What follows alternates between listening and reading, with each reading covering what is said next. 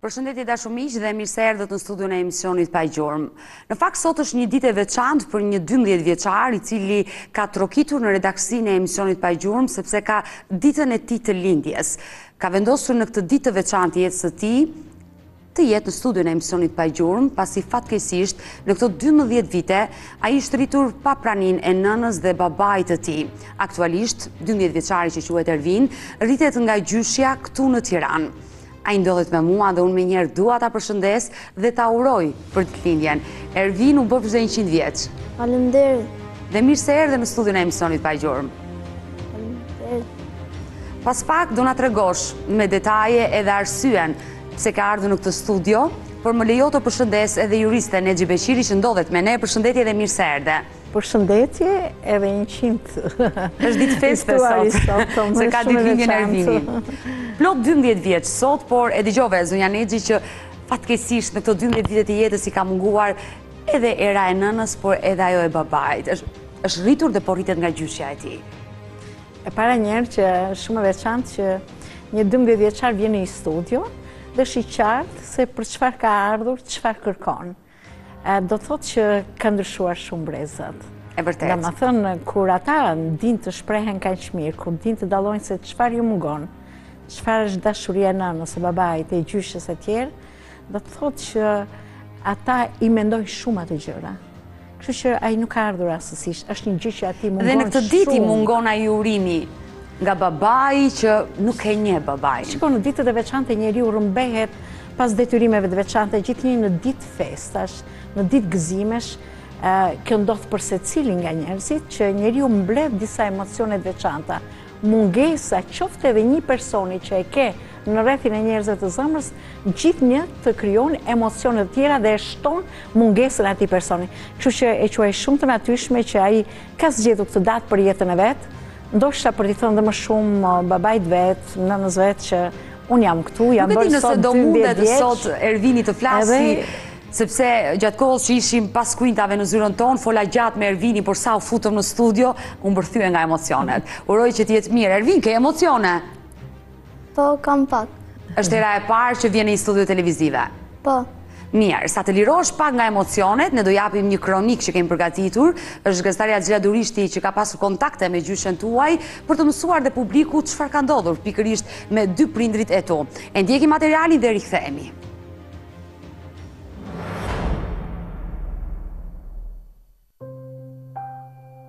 Një gjyshe e cila rrit e vetme nipin pas ndarjes së vajzës me bashkëjetuesin e saj, kjo është historia që do të trajtohet pasditen e sotme në studion e emisionit Pa Gjurmë.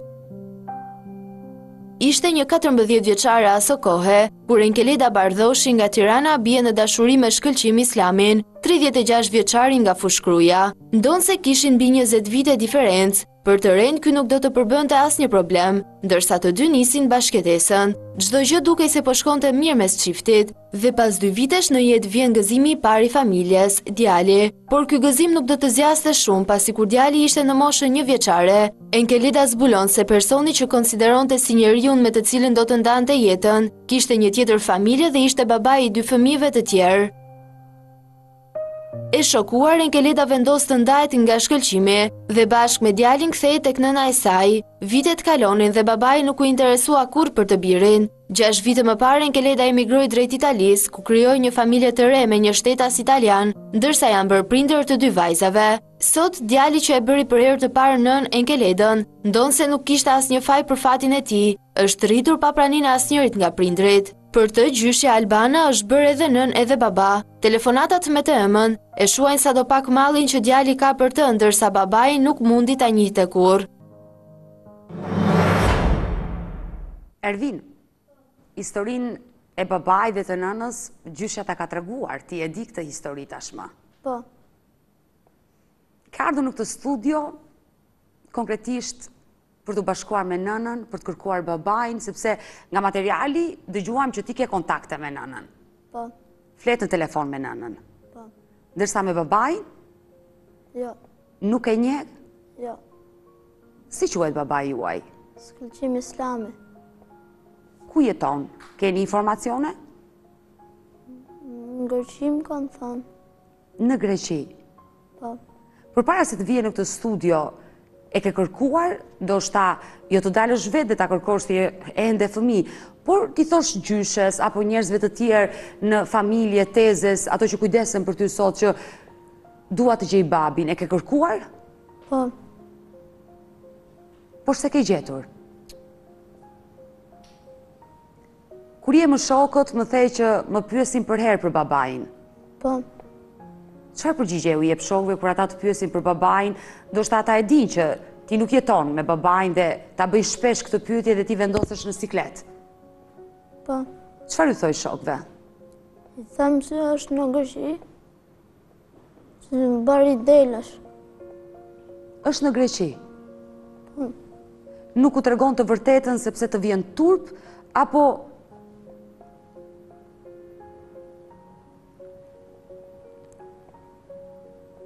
Ervin? Po. Shokëve s'u ke treguar asnjëherë të vërtetën që ti babain nuk e njeh dhe ai nuk ka ardhur asnjëherë të takojë? Po, s'i kam thënë. Të vjen turp ta tregosh këtë të vërtetë? Po. Dhe ju tregon se ndodhet në emigrim në Greqi? Po. Zonja Xhim. Jo, ndoshta, unë them që ndoshta e mendon që ata mundet edhe ta fyejnë ndonjëherë. Mundet t'ia marrin këtë për dobësi, mund ta shfrytëzojnë faktin që babai nuk e njeh, ka njohur për fëmijë, po dhe ky nuk e ka parë kurrë. S'ma merr mendja që... E kamuflon, gjithë po, pra, situatën. Po pra, e kamuflon, nuk e tregon këtë të vërtetë, në mënyrë që të mos të jetë i diferencuar nga shokët apo shoqet e klasës. Domethënë edhe për këtë arsye ai është vënë në një pozitë të vështirë, sepse edhe ai ndoshta ka shokë e shoqe të klasës vet që vijnë në shkollë, i marrin ose marrin pjesë në veprimtari të ndryshme të klasës, të shkollës, në festa, ditëlindje etj. Kështu që ka gjetur një mënyrë për ta mbuluar këtë, meqenëse nuk ndodh vetëm në familjen e Ervinit, por në shumë familje prindrit kanë ikur në emigracion, shumë herë i kanë braktisur fëmijët, Pra është një fenomen që është i përhapur nëpër studio dhe këtu janë trajtuar disa raste kur një nga prindërit ka emigruar, kur i ka mbajt kontaktet ka qenë një gjë shumë e mirë, po ka shumë raste, siç është dhe rasti i babait të Ervinit, i cili nuk është interesuar kurrë, dhe asnjeri nuk ka bërë një demarsh, as edhe mamaja e Ervinit që të mundte të paktën të siguronte pensionin ushqimor si detyrim, që ka babai biologjik për fëmijën e tij. Ose ndoshta nuk ka patur mundësi mamaja e Ervinit që të bënte atë gjyqin e famshëm për njohje atësie dhe që të rridhte nga ajo një vendim gjykate pastaj që do e detyronte që ai të interesohej vazhdimisht për djalin. Për djalin. Unë jam e sigurt që me vizitën e sotme zëri i Ervinit do përcjellë një mesazh shumë të fortë. Edhe unë ashtu e mendoj dhe ndoshta gjëja më e rëndësishme është që ta dëgjojë ai që duhet ta dëgjojë, babai i tij, Kjo është Ervin, më e rëndësishme, e vërtetë, uroj që babai i Ervinit ta ndjekë këtë transmetim dhe të na telefonojë live, ne kemi dy numra në dispozicion, një numër fiks dhe një numër celular, për zotin Shkëlqim Islami nga Fushë-Kruja nëse është duke na ndjekur. I dashur Ervin, po. me nënën ke kontakte? Po. Sa kohë ke pa e takuar nënën? Kam që i vogël. Nëna jeton në Itali? Po. Ka krijuar familje të re? Po. Ke motra vëllezër? Po, kam dy motra. Ke dy motra, se nëna është martuar në shtetin italian. Po. Ke kontakte me motrat? Po, flas në telefon. Dhe më vjen mirë. Përgjatë këtyre viteve, E ke pyetur ndonjëherë nënën tënde për babain? Jo. Vetëm me gjyshen flet më së shumti, ajo që të ka rritur? Po. Çfarë i thua gjyshes? I them ku e kam babin.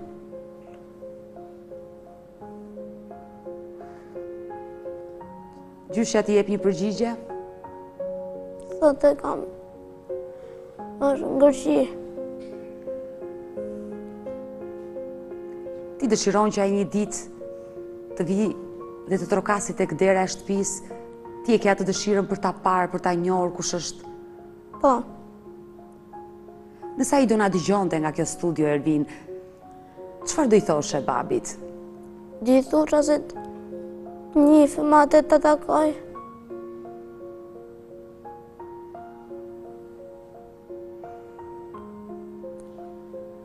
Ça klase shkon, Ervin? Klasë gjashtë. Në klasën e gjashtë. Me mësime si shkon? Pak a shumë. Pak a shumë mirë. Po. Kush është lënda që le të themi çalon pak? Që nuk e mëson me shumë dëshirë. Matematikën. Aty je pak dobët? Po. Po lënda që shkëlqen, që të pëlqen? Frëngjisht. Frëngjishtja. Gjuhët e huaja. Bën frëngjisht? Po, nuk di aq shumë, pak di. Po më vjen mirë që të pëlqen, të pëlqejnë gjuhët e huaja. Ervin. Po. Po nuk dua të të mbaj gjatë në këtë studio, Në këtë ditë kaq të veçantë që ke ditëlindjen, ti erdhe për të dhënë një mesazh babait tënd që nuk e njeh, sepse ke qenë vetëm 6 muajsh kur nëna dhe babai juaj u ndanë. Ndërkohë përpara se të të përcjell nga kjo studio sepse do ftoj gjyshen tënde, ajo që do na rrëfejë detajet e historisë. Sot për ditëlindje ke organizuar ndonjë festë në darkë? Po. Me shokë dhe shoqe? Po. Do më tregosh çfarë ke organizuar sot?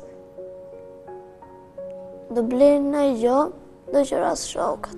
Do blesh diçka dhe do qerasësh shokët? Po. Dhe të festosh? Nëna të ka telefonuar sot? Po. Të ka uruar? Po. Nga kush e more urimin e parë? Nga nona. Nga gjyshja. Ajo të ka uruar besoj që në orët e para të mëngjesit. Po. Ervin, edhe njëqind vjeç të bëhesh dhe ta uroj me zemër që babai yt ta dëgjojë këtë emision, të reagojë dhe të lidhet me ty, të gjejë guximin, të vijë, të trokasë në derën e gjyshës tënde dhe të takojë dhe të njiheni. Unë dua të të përcjell nga kjo studio dhe të ftoj pikërisht zonjën Albanën, Është gjyshja e dymbëdhjetë vjeçarit, e cila do të vijë në këtë studio zonja Nexhi, për të na treguar detajet e historisë, sepse djali i dymbëdhjetë vjeç nuk i di shumë detajet. Ai di historinë që nëna dhe babai janë ndarë dhe babai s'e ka njohur kurrë, nuk e dimë nëse i ka dhënë atësinë apo jo. Janë detaje që do na i tregojë gjyshja e tij, ajo që ka dymbëdhjetë vite që kujdeset për nipin sepse nëna është larguar te shteti italian dhe ka krijuar një tjetër familje. Këto raste që merr Odeta në këto studio janë të vështira emocionalisht. E vërtetë, ngarkohemi, duam apo s'duam. Sepse ndoshta edhe gjyshja që ka ardhur sot në studio, Ervinit, po dhe mamaja, e ka ditur se çfarë rruge do ndiqte për të njohur atësinë, për të marrë pension ushqimor, e tjerë, por e ka parë që ndoshta edhe mundësi nuk ishte, Po ndoshta edhe nuk do zgjidhte gjë për vete. Po për djalin mund të kishte zgjidhur gjë. Në momentet që ajo ka kuptuar që s'kishte të bënte me një dashuri të sinqertë, po ishte një lidhje që ishte... S'e dimë çfarë ka ndodhur. Po në kuptimin që ai do lidhjen e tyre. Më lejo ta përshëndes zonjën Albana gjyshen dhe e pyesim të dyja. Po, do na tregojë më shumë. Zonja Albana, përshëndetje dhe mirë se erdhe. Përshëndetje. Nipi të bëhet dhe 100 vjet. Faleminderit. E pyetëm dhe na tregoi disa detaje dhe dukej qartë dhe pse nuk e njihte babain, i mungonte imazhi i tij. Patjetër. Zonja Albana, ju e keni rritur vetë nipin? Po. Çfarë ka ndodhur mes vajzës tuaj dhe babait të djalit? Ato kanë qenë bashkëjetesë, prej tre vjetësh, katër vjetësh, se nuk më kujtohet dhe më mirë, dhe ato, ai kishte pas një martesë më përpara, po ne nuk e dinim, edhe aty, domethënë, vjen një flet, edhe këto vjen rri nja tre muj ke unë. Thotë, po. mami, thotë, kam disa debate të vogla, të vij të rri, ca ditë. Okej, vajza. Erdhi, domethënë edhe aty, domethënë shpërthyen të dy, që domethënë u mor vesh kjo gjo. Pastaj... Djali kishte ardhur në jetë. Po, po, po. Po. Pra, pasi kishte ardhur djali në jetë, vajza juaj zbuloi se partneri kishte pasur një tjetër martesë përpara, ku kishte edhe fëmijë. Po. Po. Po ishte akoma në lidhje dhe me tjetrën, se kjo kjo jo, po ose ishte pa ndarë me tjetrën. Nuk jetonte me të, por nuk ishte ndarë divorci, nuk ishte bërë divorci. Po, nuk ishte bërë divorc me po. tjetrën. Po, dhe me vajzën tuaj bashkëjetonte. Po. Po, dhe pastaj këtu u ndanë. Ky ishte shkaku i ndarjes? Po, domethënë unë fëmijën e kam marrë para se këto të, të ndahen. Se këto ishin të dy në punë se ishte një shpi e vjetër dhe këto donin ta rregullonin të dy dhe goca ishte pastruse në një dyqan edhe ky ishte punonte në gropat e gëlqeres edhe ma, ma dhanë mu djalin, ta mbaj unë po. për një kohë të shkurtër. Pastaj, mbasi u ndanë, Se dhe fmijën kanë ardh dhe kanë regjistru në komunën tonë Kashar jo në po se ata s'kanë pasur celebrim po e qartë jo po. një minut po zonjë mund të mos kenë celebrim po ai e njeh atësinë kështu që ia ka dhënë atësinë po po ia ka dhënë atësinë por është në trungun e nënës është në trungun problema jo ashtu është e qartë po po pastaj u ndanë dhe fëmija më mbeti mua Në momentin që... Se ishte dhe goca. Po, në momentin që u nda çifti, po. vajza u kthye në shtëpi, po, tek ju, po, normalisht së bashku me djalin që ti e mbaje. Po. Po, pastaj goca filloi punë dhe gjithmonë e mbaja unë, vinte kujdeseshe, pastaj u largu goca, domethënë nga opinioni i njerëzve, shoqëria, miqësia, u, u, u largu goca, vajti në Laç. Po, çunin e kam mbajt unë gjithë kohës. U zhvendos e vetme në Laç? Po. Vajza dhe djalin e vogël po. Po, punonte në një fabrikë dhe më sillte të ardhura për djalin. E qartë. Pra, nëna është kujdesur sa herë po, për po, po, djalin? Po, po, normal, po, po. Sa herë? Ju keni qenë një krah goxhaj. Normal se fëmija do ndihmë. Do ndihmë. Domethënë e kam rrit me burrin, me dy çunat, me gocën, e kam pas gocën tjetër beqare. Por nëna e djalit e Ervinit... dhe nusja, më është kujdes dhe nusja. Po nëna e djalit, pra nëna e Ervinit, më pas emigroi në Itali dhe po. vazhdon të jetojë ende në shtetin italian, po. sepse ka krijuar familjen e saj. Po. Ka dy fmij të vegjël dhe është me një punë me kontratë dhe nuk mund të vijë dot që t'i bi mrapa këtyre gjërave, i ka marrë përsipër vetë me që e kam marrë që nga fillimi, Që bebe dhe du ta përfundoj vetë. Albana, unë besoj që të ka thirrur ty nënë për herë të parë, nipi. Jo, mamit vetë. Jo, ngaqë e ke po, rritur ti që po, foshnje, po, po, imazhin e nënës ai... Po, se me mu flinte. Po, pra, me ty flinte, ti e ndërroje, ti e ushqeje, ti kujdeseshe për të, prandaj të pyeta që nënë të ka thirrur ty dhe ti ke bërë rolin e nënës për atë. Po, po, po. Kërkon djali që të shkojë në Itali të bashkohet me nënën? Po, e kërkon atë. Ia ke komunikuar vajzës që ndoshta është më mirë që ai Ervini e kam fjalën tjetër. Po ia, ia kam thënë gjithmonë, edhe më ka thënë do ta marr mami sa të vazhdojmë pak që të lirohem pak nga shtëpia, se ka ble një shtëpi. Mhm. Edhe domethënë nga viti tjetër ndoshta mund ta marrë sepse edhe e shikon dhe forcën time që unë po bie, se shkova 51 vjeçe. E qartë. Pra, në një të ardhme, djali mund të bashkohet me nënën. Me nënën, po, po, patjetër. Dhe më vjen mirë, sepse atje ka dhe dy motra. Po, kam dhe burrin atje. E kuptoj, ndërkohë me babain ai përherë të ka pyetur, sepse unë e pyeta dhe më tha që nënën asnjëherë nuk e kam pyetur që kush është babai dhe pse nuk vjen të më takojë, por me gjyshen diskutoj. Rastësisht njëherë e kanë ofendu në shkollë, I kam thonë që ti nuk ke babë dhe ky ka ardh më ka pyt dhe i kam thonë që ti e ke po e ke në emigrim në Greqi, bari delesh. Që mos ta rëndoja dhe fmijën. Po që ai nuk është kujdes asnjëherë, nuk ka pyt njëherë, as njerëzit e atij.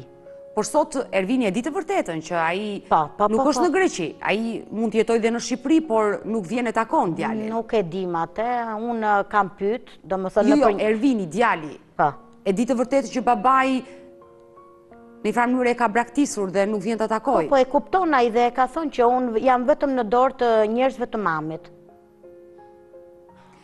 Ju e keni shoqëruar nipin, unë të falenderoj në këtë studio, sepse ai është 12 vjeç dhe unë nuk mund ta mbaja minuta të tëra në transmetim për të folur, se është i vogël dhe nuk i di gjitha detajet. Por pa dyshim, je një mbështetje për nipin, po patjetër se... E ke shoqëruar dhe ti ke disa kërkesa për të bërë nga ekrani i Report TV. drejtuar ish dhëndrit. Po, unë dua t'ia heq fare të drejtën, ndërsa ai nuk është, nuk është kujdesur deri më sot, që kështu tashi që djali shkoi deri në këtë, në këtë moshë, ai edhe pak e merr jetën vetë në dorë dhe unë do ia dorëzoj gocës. Ju doni t'i hiqni të drejtën prindërore? Po, po, po, po, patjetër. Zonja Xhina, po. në këtë situatë, Tani, unë mendova se do thoshte që e donte, që domethënë babai i fëmijës të rivendoste lidhjet me djalin e vetë. Se sido që të jetë, Ervini, ky djalë 12 vjeç sot, në tërë jetën e vet, po. e mendon që i takon ta ketë dhe ai babanë e vet, që ta njohë. Patjetër. Që të ketë dashurinë e tij, të ketë vëmendjen e tij, kujdesin e tij. Ë gjyshja natyrisht gjykon me mendjen e vet. Që e kam po, rritur vetë, ai s'ka ardhur? Por Ervini, djali e do babain.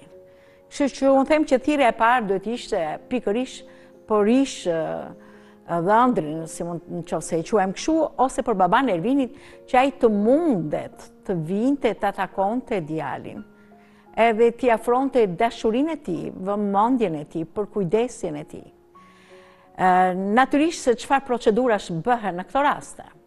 E para një herë që mamaja e Ervinit ose vajza e Almës, natyrisht në qoftë se e ka fituar, e ka atësinë e babait për fëmijën e vet, po. kjo është një arritje, se ne kemi pafund vajza shqiptare, po. të cilat janë të vetme, rrisin fëmijë, i rrisin shumë mirë, edhe kur mungon babai, po që nuk e kanë atësinë e babait.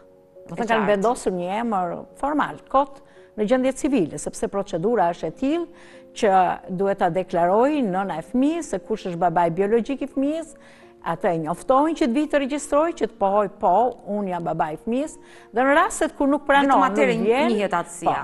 Po, por në të njëjtën kohë ka dhe procedura ligjore, domethënë, që kërkon që të njihet atësia e fëmijës. Dhe natyrisht ka një gjyq civil i cili bën të mundur që me një vendim gjyqi, pasi bëhet po. seanca të tëra gjyqësore, po. bëhet dhe ADN-ja si pjesë e procedurës gjyqësore dhe njihet atësia e fëmijës. Qoftë se këtë gjë e kanë arritur, domethënë për Ervinin, që ditën që ka ardhë në jetë është arritur kjo gjë. Atëherë, pasi kanë kaluar kaq vite, ai ish nuk nuk është interesuar, është pikërisht Alma, mamaja e Ervinit, Albana. e fëmijës dy vjetë, Albana, po, Albana, po. është mamaja e... Enkeleda që vajtë Enkeleda, është mamaja biologike, mamaja e fëmijës, po.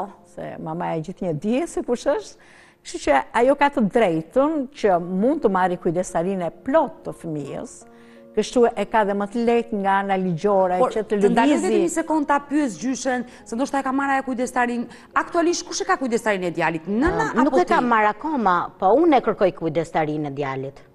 Po si, ti kërkon që t'i hiqet kujdestaria edhe nënës, edhe babait jo, ta marrësh ti? Jo, nënës jo, jo, nënës jo. Po si, ta Vetëm t'jatit.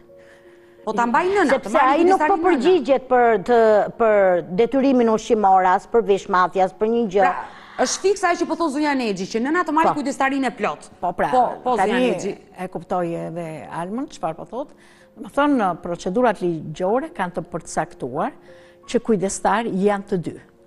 Edhe kur bashkëjetojnë, edhe kur nuk kanë martesë ligjore, edhe kur divorcohen, ka një kërkohet në gjykatë një vendim gjyqi që ka të bëjë pikërisht se si do prindërojnë këta dy prindër, kur nuk janë më bashkë. Kështu që Alma nuk e ka bërë këtë, po thjesht, domethënë, e ka regjistruar djalin, e ka njohur atësinë dhe ka ikur. Kështu që ajo në qoftë se do që edhe të ketë mundësi, të ketë, do si t'thuash, të gjithë të drejtën ligjore, si përfaqësuese ligjore e djalit 12 vjeç. Po, sepse ajo do ta marrë jashtë në Itali po, dhe po, ajo do të shkirë për të marrë, pa kërku në të marrë. Jam me letra italiane. E qartë, por për të marrë djalin, duhet të bëjë një gjyq. Duhet të ketë prokurën e babait. Po, duhet të bëjë një gjyq që të marrë kujdestarinë e plotë. Ose duhet të rivendosë ajo në këtë rast, marrëdhëniet me ish, domethënë, bashkëjetuesin, në mënyrë që ai t'i japë të drejtën e një udhëtimi apo të ikjes jashtë shtetit e tjera. Por në themel të gjithçkaje është të njihet kujdestaria që kërkon Enkeleda, domethënë qoftë se do ta marrë. Ne do e telefonojmë Enkeledën dhe ta... Por para kësaj, përpara kësaj, për të shprehur atë që kërkon edhe gjyshja tani. Ajo ka shumë të drejtë, se ka 12 vjet që nuk ka shpenzuar babai për rritjen e fëmijës. E ka pat, si t'thuash të drejtën me pas, sipas ligjit shqiptar, që ta denonconte babanë e fëmijës, aq më tepër që e di shumë mirë, se kush ishte ta denonconte për braktisje të fëmijës. Edhe kodi penale ka të parashikuar, që dënohet me gjobë dhe dhe deri në 3 vjet burg. Po. Domethënë, kur braktiset fëmija. Kështu që këtë e ka të drejtë dhe në të njëjtën kohë, bëhet e një gjyq civil i cili përcakton detyrimin ushqimor që ka babai i fëmijës, po këtë duhet ta bëjë Enkeleda. Enkeleda, se e po. ka kujdestarinë? Që të përcaktojë sasinë e parave që duhet të japi ai çdo muaj për rritjen dhe detyrimin e fëmijëve. Pra, problemi nuk është vetëm në këtë familje dhe në këtë rast që ju keni marrë sot Odeta, në shumë familje shqiptare. Domethënë, është e dëshira e madhe e gjysheve, apo dhe mamave në momentin e parë, që janë të tronditur nga ndarja me partnerët e tyre, apo dhe me bashkëjetuesin, apo dhe burrin e tyre, E të si thuash ato me shumë dëshirë duan që t'i mbajnë fëmijët, nuk i lëshojnë asnjë mënyrë, ashtu si ka dhe mama të cilat nëna të cilat i kanë braktisur fëmijët, se kemi pat rastin këtu përpara një jave që ishte vërë dhe burg, pikërisht, sepse kish braktisur fëmijët. Pra, po në atë momentin e parë, po pastaj e shikon që jeta ka shumë kërkesa, nuk i përballon dot, Domethënë, aq më tepër kur nuk kanë shumë të ardhura, po. një shumë parash nga babai biologjik i fëmijës, të paktën do të mundësonte si të thuash një jetë normale të fëmijës. I mungon dashuria, po të paktën mos i mungojë buka, mos i mungojnë librat, veshmbathja, libra, gjithçka që duhet. I duhet një fëmije. Veshmbathja e gjithë tjerat. Pra edukimi, argëtimi e tjera. Kështu që kanë disa, si të thuash, hapa që duhet t'i bëjë Enkeleda, domethënë procedura ligjore, të cilat janë të domosdoshme në qoftë se ajo ka dëshirën dhe vullnetin e saj që t'i bëjë bashkë të tre fëmijët dhe në mënyrë që t'i krijojë mundësi që ata të rriten, domethënë përveç atyre dyve që ajo ka me bashkëjetesën e re apo me martesën e re, nuk e di, të bëjë, domethënë t'ia bëjë të mundur dhe Ervinit që mbas kësaj ditëlindje këtu në studion e Report TV, ai të ketë një shans, një mundësi shumë herë më të madhe, më të mirë, më të bukur, Ndoshta të jetë dhe një pikë kthese në jetën e vet. E urojmë. Për t'u ribashkuar me mamanë. Gjithsesi unë dua të pyes Albanën. E dashur Albana e dëgjove zonjën Nexhi? Po. që për të bërë atë procedurë, atë kërkesë që ti bëre, e ka të drejtën ta bëjë vetëm Enkeleda, sepse ajo e ka kujdestarinë. Ligjërisht ti nuk e ke kujdestarinë dhe ti nuk merr dot asnjë hap për t'i hequr të drejtën prindërore babait dhe nëna të marri kujdestarinë e plotë. Pra duhet patjetër Enkeleda. për të bërë këtë veprim. Ndërkohë, ke folur me vajzën, është dakord Enkeleda që ajo të marri kujdestarinë e plotë dhe t'ia heqi babait? Jo, nuk kam fol. Nuk ke folur. Po në qoftë se Enkeleda nuk e do këtë gjë? Jo, Enkeleda më ka thonë që unë do ta marr. Do ta marrë. Po. E qartë. Ndërkohë, djalit i ke thënë që babanë e ke në Greqi, punon, po. në të vërtetë, po, ju, keni informacione ku jeton babai i djalit Shkëlqim Islami? Në Greqi, në në Selanik të pra, Greqisë. Ka emigruar, është në Selanik. Më thonë mes të njerëzve. Jo s'e keni ndonjë numër telefoni, jo, një jo, kontakt. Jo, jo, absolutisht, absolutisht kemi kontakt. Lidhemi në këto momente me nënën e djalit, me Enkeleda Bardoshi, për ta pyetur se vërtet nëna mund të ketë dëshirën, gjyshja, të ketë dëshirën e madhe që të marri kujdestarinë e plotë të nipit, por të pyesim nënën se në fund ajo vendos. E kam Enkeledën dhe e përshëndes. Enkeleda, përshëndetje! Përshëndetje! Të falenderoj që të kam në këtë lidhje, në radhë të parë djali të të bëhet 100 vjeç. Faleminderit shumë. E kam Ervinin këtu në studio, shoqëruar së bashku me nënën tënde. Po. E dashur Enkeleda. Më thuaj. Nëna juaj erdhi dhe bëri një kërkesë në studion e emisionit Pa Gjurmë, ku kërkon që t'i hiqet e drejta prindërore babait të Ervinit, duke ditur dhe duke pretenduar gjithnjë nëna juaj ajo që e ka rritur djalin, që ai nuk është kujdesur asnjëherë për djalin e tij. E vërtetë është. Shumë e vërtetë. Asnjëherë nuk është kujdesur për djalin që kur e ka lënë që ne u ndamë, domethënë, sepse nuk kam qenë asnjëherë e martuar, po kur u ndamë që dy ka qenë djali 6 muajsh që atëherë s'e ka parë më. As nuk ka marrë telefon, as nuk ka pyet për djalin, nuk kam asnjë të dhëna ku ndodhet, ku është.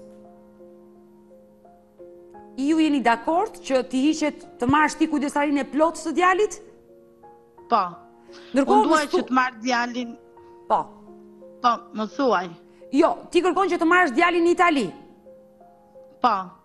Dhe kjo është arsyeja, Nexhi. Kuptohet qartë sepse ajo nuk e merr dot djalin në Itali pa prokurën e babait. Ndërkohë që babai nuk është kujdesur asnjëherë, sepse kam në studio edhe juriste Nexhi Beqiri, e cila po sqaron dhe anën ligjore se si duhet të veproni që të bëhet kjo gjë.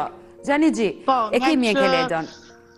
Pra Enkeleda është dakord, t'i hiqet e drejta babait dhe ajo të marrë djalin në Itali se përndryshe nuk e merr dot. Duhet prokura e tij. Enkeleda, Po, më thuaj. Urime për djalin. Se ka ditëlindjen. Edhe për ato dhe të tjerët që ke aty. Po. Djali juaj ishte shumë i kënaqur, që kishte dy motra. Kjo është gjë shumë e bukur për po. ju. Për juve dhe për atë vetë. Por, uh, unë nuk e di a është njohur atësia e djalit? Nga bashkëjetuesi juaj? Uh, domethënë nga burri që kam? Jo, jo, jo, nga... Babai. Babai biologjik. E, ka pasur atësinë po të babait, nuk kam qenë e martuar, Po, e qartë, po, por atësinë e ka. Po, atësinë e maternitet të zhjo. Po. Të babait, po. Atëherë, po. në kushtet kur uh, ju të keni dëshirën për ta bashkuar djalin me dy motrat e veta aty ku jeni, natyrisht uh, nuk lëviz dot fëmija pa patur një autorizim nga babai biologjik i fëmijës. Por, po. uh, ju jeni në kushtet që ai nuk është interesuar për kaq vjet. Kështu që juve takon që nëpërmjet Nuk di ku ndodhet. Po. Nuk di dhe ku ndodhet, nuk di dhe ku të ngaqë unë punoj në këtu në Itali bëj badante po. dhe kam një punë 24 orë jam në punë edhe pse kam fëmijë të vegjël në shtëpi kam dy goca.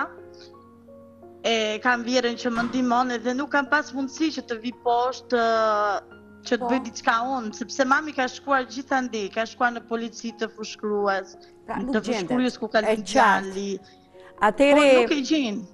Atëherë, juve mund të jepni një prokurë për cilindo avokat që ju mendoni, për të ndjekur po. njëkohësisht si denoncimin tuaj që babai biologjik e ka braktisur fëmijën e vet, nuk po. i është larguar çdo lloj detyrimi dhe nuk ka përmbushur asnjë detyrim për fëmijën e vet, Dhe natyrisht që kjo është një shkelje, kjo është domethënë kundravajtje penale, ai dënohet me gjobë, deri dhe në burg deri në 3 vjet. Kështu që ju duhet ta bëni një denoncim të tillë dhe pastaj janë organet e drejtësisë të cilat e ndjekin po, këtë gjë. Në momentin që Enkelida e ka të pamundur të vijë në Shqipëri, mund t'i japi prokurën. Prokurë, po e bën këtë pjesë. Po e bën prokurën në konsullatën tonë apo në ambasadën tonë në Itali. Po. Kanë të drejtë ato të bëjnë prokura për gjithë shqiptarët, për gjithë çështjet që ata mund të kenë në Shqipëri. Pra, Enkelida, ndoshta ti e ke të pamundur të udhëtosh këtë kohë në Shqipëri, mund të bësh këtë prokurën dhe të vazhdojnë seancat këtu në Shqipëri që të fitosh kujdestarinë e plotë të djalit dhe ai të bashkohet përfundimisht me ty dhe me motrat. Kurse për po. çështjen e kujdestarisë duhet të hapi një gjyq civil në gjykatën e rrethit gjyqësor në Tiranë, po. në mënyrë që të marri kujdestarinë e plotë Gjykatën do ta furnizojë me gjitha këto argumente që thotë ajo që kam kërkuar adresën. Ky emision shërben në gjykatë? S'ka nevojë, ka qenë edhe gjyshja, ka qenë në polici, po, mundet edhe kërkon përsëri, mund t'i dërgojë një njoftim në familjen e prindërve të tia ku ka një adresë, edhe në qoftë se nuk ka një adresë konkrete të tij, po dhe fakti që ai nuk është dukur për 10 vjet përsëri është një argument që bind gjykatën që ai ka braktisur fëmijën, Po. Kështu që të gjitha këto në mënyrë që të marri kujdestarinë e plotë dhe atëherë vetëm vetëm në ato kushte me një vendim të tillë gjyqësor mundet që të kalojë kufirin të iki jashtë Shqipërisë me djalin. E qartë. Kështu që Nërko... ta uroj me shpirt që ta realizosh këtë në kushtet kur ai e ndjen mungesën e babait. Qoftë se babai e shikon emisionin dhe kujtohet që, di, s'e ka harruar që ka një djalë në Shqipëri, Atëherë kjo do të jetë një gjë shumë e mirë për djalin në radhë të parë. E thërrasim po edhe Ervini të flasi pak me nënën e tij. Ervin, mund të afrohesh tek gjyshja? Le të hyjë Ervini në studio sërish. Ervin. Sa ditëlindje. Kemi mamin në lidhje telefonike. Ke diçka për t'i thënë? Çfarë do i thuash mamit? Ervin, Të dua shumë thotë. Ai e din që ai e din që unë e dua shumë, ai e din që unë e marr telefon përditë, e din shumë mirë. E dashur Enkeleda, qëndro aty në lidhje telefonike dhe çfarë do dëgjosh reago. Shkojmë dhe ne tek Ervini. Ta urojmë që për ditëlindjen ashtu siç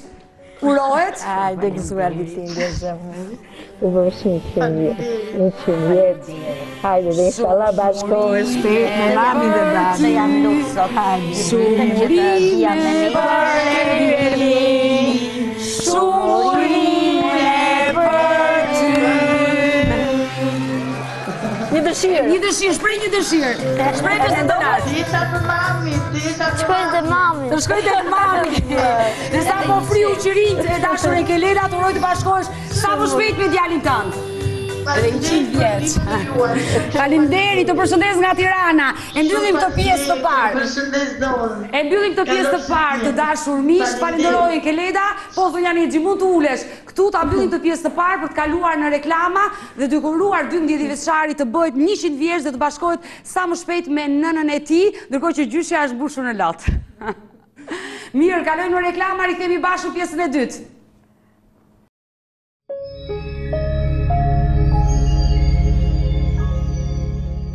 Jemi rikthyer në pjesën e dytë të dashur miq dhe në këtë pjesë të dytë do të flasim për historinë e një njëzet e katër vjeçare nga Pogradeci e cila ishte martuar në Maqedoninë e Veriut dhe kishte paralajmëruar në familjen e saj se do largohej për shkak se bashkëshorti e dhunonte dhe bëhet fjalë për Suela Hoxhallarin ku nëna e saj Albana Hoxhallari ka qenë në këtë studio dhe ka bërë një thirrje një apel të bijës që të kthehej në shtëpi pasi është nëna e një djali të vogël që e ka lënë te bashkëshorti në Maqedoninë e Veriut. Për të gjithë ata që nuk na kanë ndjekur, ne do japim një kronikë të shkurtër për të dhënë më shumë detaje se si ka humbur kontaktet pikërisht njëzet e katër vjeçarja, çfarë problemesh ka patur ajo me bashkëshortin dhe pse familjarët e saj në Pogradec nuk e pranuan të renë. E ndjekim materialin dhe rikthehemi.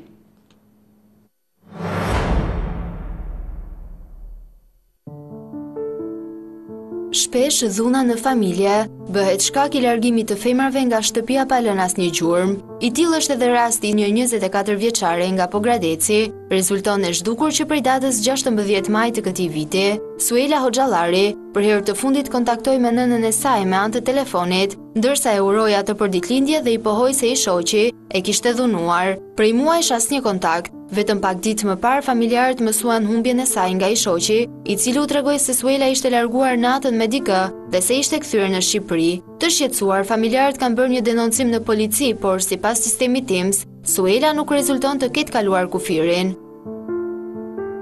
Prej 5 vitesh, Suela është martuar me shkuesi me Valentin Ristevskin, në fshatin Shtaric të Maqedonisë së Veriut, ndërsa marrëdhëniet me burrin nuk i kishte fort të mira. Të dy janë bërë prindër të një djali 4 vjeçar, të cilin nëna e ka lënë me të atin. E reja është dhunuar edhe herë të tjera nga i shoqi, ndërsa është kthyer tek shtëpia e familjarve të saj për këta të fundit, e kanë rikthyer sërish tek shtëpia e bashkëshortit dhunues. Kështu, e lodhur nga dhuna sistematike, Suela vendos të largohet dhe të shkëpusë çdo kontakt me këdo. Dhëndri vetëm kaq na thoshte, dua Suelën.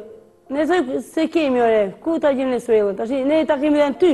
Ai vetëm kështu thoshte, më iku natën, më ka lënë telefon, më iku në 12 të natës, me një makinë të zezë, nuk Pra, dhëndri ju ka thënë që një makinë e zezë ka ardhur pranë shtëpisë dhe e ka marrë vajzën po. tuaj. Si shkonte ajo me bashkëshortin? Po, kur fliste me mua, qante... Pra, të është ankuar vajza. Vajza ka patur gjithmonë konflikte me bashkëshortin? Ajo kështu... Çfarë? Me të e rrihte, e bënte... Që sherre? Po si nuk e more vajzën në shpi? Po, se mua me ti, se... Me të pra, atëri ati... Djali. Për herë të fundit zërin ia ke dëgjuar nëpërmjet kësaj po, po, po, video të cilat m'u hapën në këto momente dhe dua ta dëgjoj. Shumë urime për ty, shumë urime për ty. Dhe kemi të rabeva. Ka marrë malli.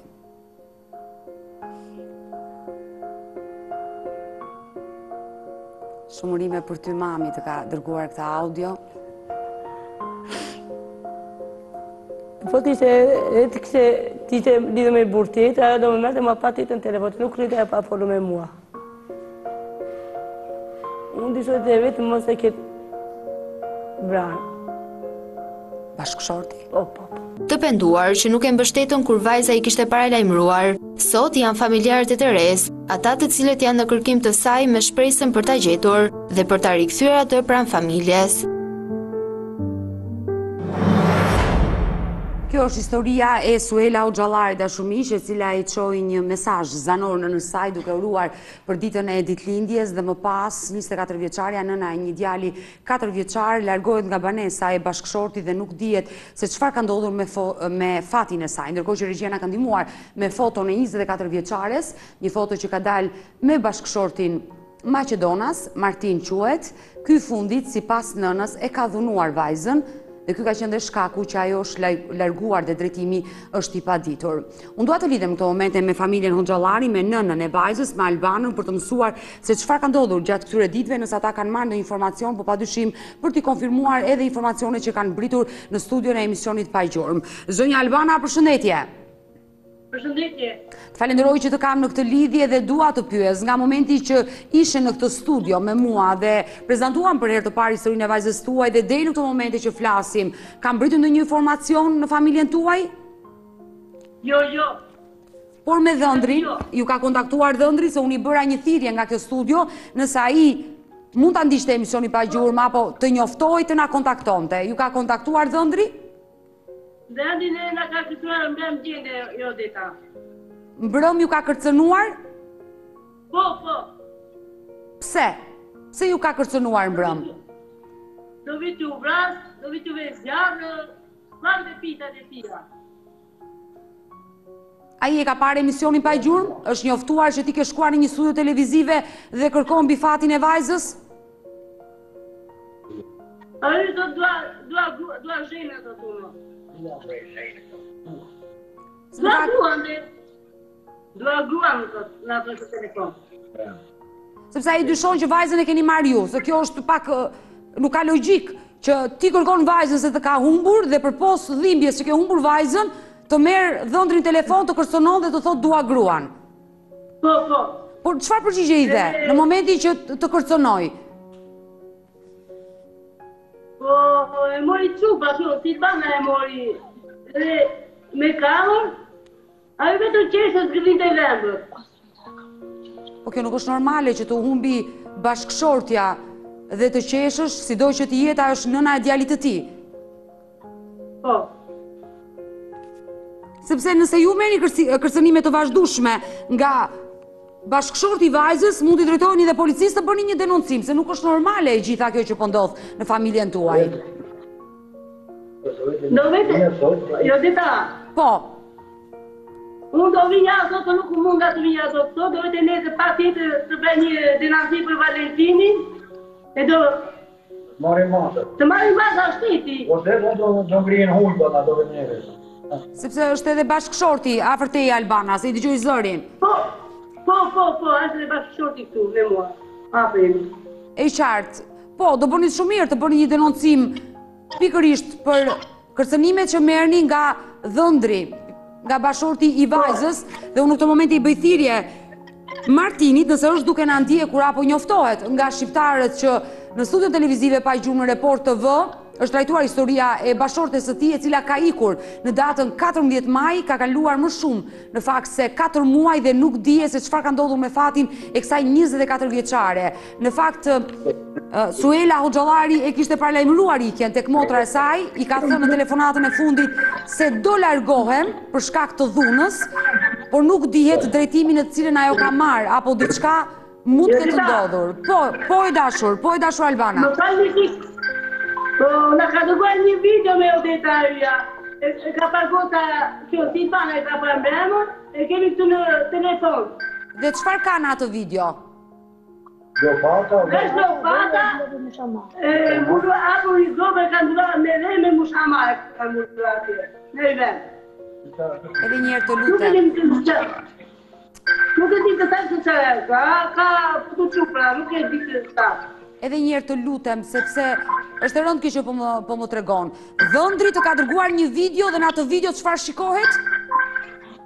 Me është një gropë e mbuluar me plasmas, me dhe. Me, me plasmas, dhe është mbu, është mbuluar me, është mbuluar me dhe. E dashur Albana, mos flisni të gjithë bashkë, sepse nuk ju dëgjoj qartë. Regjia ta ulë pak zërin e Albanës, është shumë i lartë në transmetim zëri i Albanës. E dashur Albana, e keni pyetur pse jua ka dërguar këtë video? Mbrëmë. Mbrëmë, mbrëmë ishte dërguar, po i thonë se burri, ajo i nuk, vetëm grillit e vemë, dhe nuk kthente përgjigje. Do vij të vras, do vij të djeg, thotë si, si mi ju. Edhe grillit e vemë, qeshte. Sepse e gjithë kjo situatë që po më tregon në studion e emisionit Pa Gjurmë, nuk është normale dhe është shumë e rëndësishme madje mos presësh nesër, po që sot të shkosh në polici, të bësh denoncimin dhe gjithë komunikimin që ke pasur me dhëndrin, atë video që ai të ka dërguar, Të gjitha çfarë të ka po, po. shkruar, t'i denoncosh në polici. Po, pa me ra. Sepse e dashur Albana, në studion e emisionit Pa Gjurmë, kur ne trajtuam historinë e vajzës tuaj, mbërritën disa po. informacione nga Maqedonia e Veriut, në fakt, qytetarë shqiptarë që jetojnë aty, të cilët tregonin se e kanë parë dhe na është përmendur qyteti i Tetovës. Sa larg është qyteti i Tetovës me fshatin ku jetonte vajza juaj? Nëse ke po, informacion. Po vajza ime jeton në Shtavita, ishte martuar në në përmbate Prilepi. A kishte njerëz në Tetovë? Keni patur njerëz në Tetovë? Jo, jo, jo, s'kemi patur njerëz në Tetovë neve. Sepse ka mbërritur një informacion që është parë në këtë qytet vajza juaj, gjithsesi bazohen vetëm nga fotot që ne kemi publikuar në studion e emisionit Pa Gjurmë, por nuk dihet e vërteta nëse bëhet fjalë pikërisht për Suela Hoxhallarin, pra për vajzën tuaj apo për ndonjë vajzë tjetër. Prandaj jua bëra këtë pyetje. Jo, jo, nuk kemi jetë të tovë neve. Unë dua në këto momente t'i bëj thirrje edhe një herë gjithë qytetarëve, por gjithë problemi është që ne nuk arrim dot të lidhemi me bashkëshortin e Suela Hoxhallarit nëpërmjet Messengerit aty ku komunikojnë prindit e Suelës Ne i kemi bërë ftesë, por ai nuk e ka pranuar dhe i bëj thirrje Martinit, gjithë shqiptarët që jetojnë në atë fshat që përmendi nëna. Edhe një herë emrin e fshatit të lutem? Ku ka jetuar vajza? Fshati ka një Shtavica. I bëj thirrje gjithë shqiptarëve që jetojnë në këtë fshat të na ndihmojnë me një numër telefoni të këtij shtetasi të huaj nga Maqedonia e Veriut që Ka një numër telefoni të na ndihmojnë të na japin, ne të kemi një kontakt, pavarësisht do kemi të vështirë për të folur, por do gjejmë formën dhe mënyrën për të folur me Martinin, për të bërë disa pyetje pikërisht për Suela Hoxhallarin, pasi ky i fundit jo vetëm që ka bashorten të humbur, por ka filluar të kërcënoj prindit e saj duke çuar edhe video që janë goxha të rënda. Unë nuk e di çfarë do të tregoj ai nëpërmjet ato atyre videove.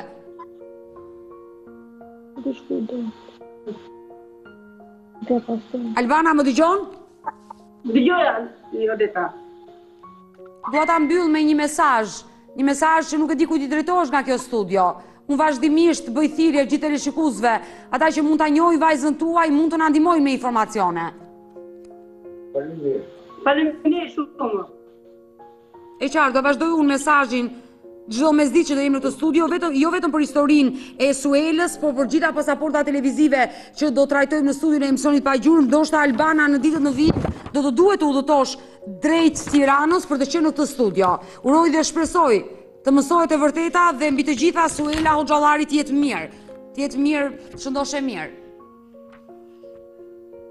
Të falenderoj Albana. Të përshëndes. Mirë, nga historia e Albana Hoxhallarit, dashur miq, njëzet e katër vjeçarja nga Pogradeci, që e theksoj figuron e humbur përpara katër muajve, do t'i vazhdojmë kërkimet tona, por gjithnjë kam nevojë për ndihmën tuaj të dashur miq dhe në këto momente kam nevojë për ndihmën e gjithë shqiptarëve që jetojnë në Maqedoninë e Veriut dhe e kanë njohur 24 vjeçaren, e njohin bashkëshortin e saj, të na ndihmojnë me informacione dhe të lidhim një kontakt me Martinin. Pikërisht, bashkëshortin e Suela Hoxhallarit. Do të kaloj në këto momente tek pasaporta televizive e Almir Kalemaj, 44 vjeçari nga Buzmadhi, fshati Buzmadh Cakran i Fierit, që ka humbur kontaktet me familjen në 14 maj të vitit 2009 dhe nuk dihet se çfarë ka ndodhur me fatin e tij. E kemi trajtuar gjatë historinë e Almir Kalemaj, shumë informacione kanë mbërritur dhe sot ka mbërritur një dëshmi. Por para se ta jap këtë dëshmi, patjetër do shkoj në një lidhje, do jem tek Prindërit e tij, Gano, nëna e Almirit dhe Gëzim Kalemaj, i kam në një lidhje dhe dua t'i përshëndes të dy. E di që janë përpara ekranit duke më ndjekur dhe i përshëndes. Zoti Gëzim, zonja Gano, përshëndetje! Përshëndetje! Ju falenderoj që ju kam në këtë lidhje telefonike dhe dua t'i tregoj që ditën e sotme ka mbërritur një informacion për Almir Kalemaj. Po. Do e mbani hapur telefonin, sepse regjia do na mundësojë dëshmitaren, ta dëgjojmë të gjithë së bashku se çfarë thotë ajo për Almir Kalemaj. Regjia le të na ndihmojë në këto momente me dëshminë. këtu në Mykono. Nëntëdhjetë për qind unë them që është ai, edhe bëja muhabet me të. Edhe më tha kam vite që s'kam vajtur Shqipëri, jam nga një fshat i Fierit, më tha që familjen e kam në Shqipëri edhe nuk flas, kam vite me ta. Ishte një poli shumë i bukur, një djalë shumë i bukur, dukesh që ishte me fiskulturë, ama kishte probleme, dukesh që ishte nevrik u madh. Atij nuk i flisje dot. Ai bënte muhabet vetëm me mua, nga ajo që isha nga Shqipëria, gjithmonë i flisja. Po mamaja, thoshja unë, çfarë faji ka mamaja jote, babai, të dërmësoi, jam mirë. E dinë ata, e dinë, thosh që unë jam mirë. Ai fliste në telefon gjithë ditën e Perëndisë. Se me kë fliste, se me kë bënte, unë nuk e di. Ai këtu te ne erdhi për shofer, kështu për hotelin, për turistat. Edhe dy muaj ndenji, edhe iku. Kur e keni parë për herë të fundit? Ka qenë vitin e parë të koronës, që ra korona. Ka qenë në prill. Prill, maj ka punuar me mua. E di si e kishte emrin? E kishte Vasil, Vasil Kalemaj. Ta pohoi ty se quhej Vasil Kalemaj? Po, po, po, po, Vasil Kalemaj. Më quajnë Vasil Kalemaj. Dhe ai më tha, unë jetoj me, bashkëjetoj me një vajzë, tha. Se nga ish, qysh, tek unë nuk e di. Ishte tip që nuk hapej aq shumë. Punonte në mëngjes, i donte punët i bënte në mëngjes shpejt. Në vapë nuk punonte se kishte dhimbje koke. Bile ai këtu te ne ka ardhur nga Santorini, kam punu në Santorini tha. Unë direkt të marr atë dokumentin që është paraqitur ai pashaportën, kartat, unë direkt do t'ua nis në WhatsApp. Ana dhe zoti Gëzim nuk e di nëse arritët ta dëgjonit këtë dëshmi. Nuk e dëgjova se kishte zhurmë më të gjitha. Po, zoti Gëzim, do ta shpjegoj unë me detaje. E qartë, do ta shpjegoj unë me detaje informacionin. Zonja tregon se ka takuar një person në muajin prill të vitit 2020 në një ishull në Greqi. Që i ka pohuar se quhesh Vasil. Po. Vasil Kalemi. Po. Dhe djali juaj në shtetin grek ka mbajtur të njëjtin mbiemër, Vasil. Po. Ndër të tjera, zonja ka treguar që djali kishte një fizik që të jepte përshtypjen se merresh me fizkulturë. Dhe ky është një detaj shumë i rëndësishëm sepse djali juaj ka qenë sportist. Po. I kishte treguar zonjës që kishte vite pa ardhur në Shqipëri dhe nuk kishte kontakte me familjen e tij. Po. Dhe ka treguar se ishte po nga zona e Fierit. I kishte thënë jam nga zona e Fierit. Jam nga zona e Fierit, kam vite pa ardhur në Shqipëri dhe quhesh Vasil Kalemaj. Janë detaje po. që përkojnë 100% me djalin tuaj. Po. Zonja në fjalë, i dashur Gëzim dhe zonja Gane, që ju kam në këtë lidhje, po. na ka premtuar se shumë shpejt ajo do lidhet me punonjësit atij hoteli për të gjetur një dokument, sepse djali juaj kishte punuar në një hotel në këtë ishull të Greqisë. Ajo do na sigurojë një dokument të tij, uroj të kemi një dokument siç është pasaporta për të verifikuar plotësisht nëse është djali juaj Almir Kalemaj që në shtetin grek njihet me emrin Vasil Kalemaj apo kemi të bëjmë me një person tjetër, sepse do jetë fotoja ajo që do e verifikojë 100%.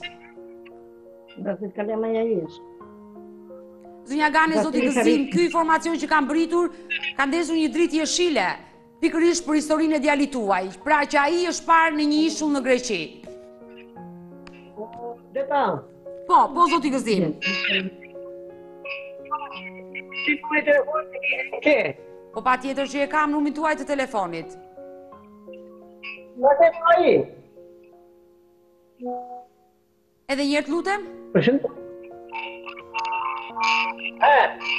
Shikoj që kemi probleme me këtë lidhje, normalisht që jemi në transmetim live dhe ndodhin, zoti Gëzim, unë të premtoj që çdo informacion që do vijë tjetër, por dhe do presim sa zonja të na sjellë një dokument të Vasil Kalemaj për të bërë verifikimin plotësisht nëse është djali juaj apo jo, ta uroj me zemër që të jetë Almiri juaj, kështu që ne do mbetemi bashkë në kontakt për çdo detaj që do zbulojmë nga kjo histori. Kështu që të falënderoj dhe të përshëndes nga Tirana, edhe ty, edhe nënën e Almirit. Miq të dashur, uroj dhe shpresoj që të gjitha këto histori që ne trajtojmë çdo mesditë në studion e emisionit Pa Gjurmë të marrim lajme dhe informacione, ndaj shpeshherë ju bëj thirrje nga studio